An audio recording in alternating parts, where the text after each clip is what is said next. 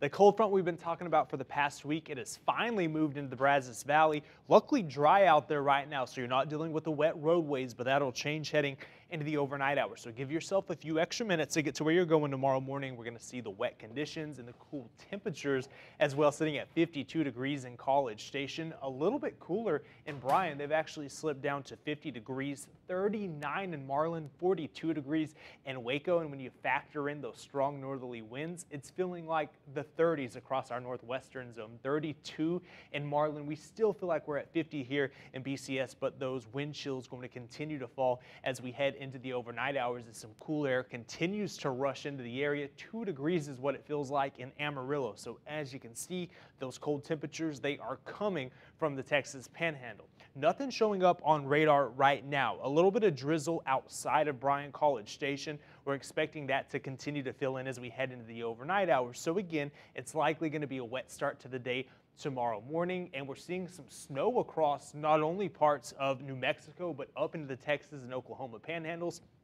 Plethora of winter weather alerts here. We have winter storm warnings winter weather advisories as well as ice storm warnings in effect for western parts of the state. So if you have to travel along I-10, I-20, I-40, I would recommend not doing so. Give yourself maybe a couple days before you travel because it is going to be completely icy and snowy out there over the next 24 to 36 hours as we see precipitation continue to expand across this part of the state as an upper level storm system starts to approach. That creates a lot of lift in the atmosphere. Temperature's pretty cold at the surface, so that's why we're going to see the wintry weather up there.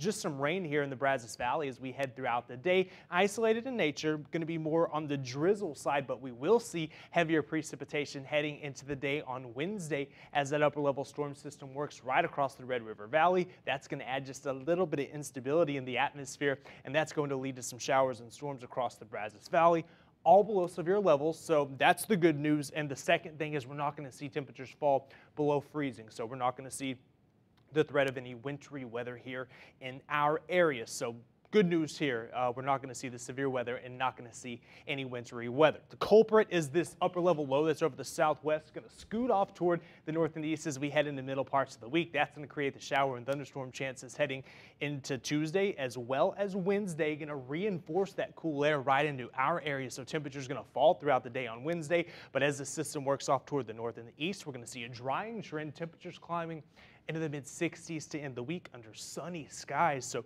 get ready for the nice conditions just in time for Friday Night Lights as well as some Aggie football conditions going to be absolutely beautiful out there. A little bit on the cool side though, still below average by about 10 to 15 degrees and those temperatures will continue to fall heading into the overnight hours. Most areas are going to be into the 40s, a few upper 30s for our western zone. Keep in mind with the winds out there, it's going to feel like it is in 30, so it's going to be cool. You want that jacket tomorrow morning. You also want to make sure you have the umbrella. We're going to see a few showers possible across the Brazos Valley. Eastern zone actually going to stay in the 50s and 60s, so it's going to be a little warmer out there as that cold front stalls. It may try to back up heading into the afternoon hours, so that could allow BCS to climb into the low 50s, and then to the east of that front, of course, temperatures are going to climb into the 70s, maybe some low 80s for southeastern parts parts of the state, and then our western zone is going to remain in the 40s throughout the day tomorrow. So it's going to be winter-like out there, and then we see a reinforcing push of that cooler air as we head into Wednesday. That's going to drop those temperatures right back down